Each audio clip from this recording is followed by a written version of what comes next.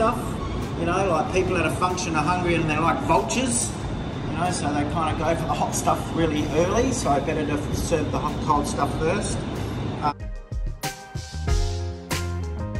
instead of just roasting the walnuts today, we went the extra mile and candied them and toasted them in the oven so they go really crunchy and sweet at the same time. So they're nice and texture. So, building flavour is what we're doing. All right, what you guys can do in a couple of weeks, yeah? Thank you very much.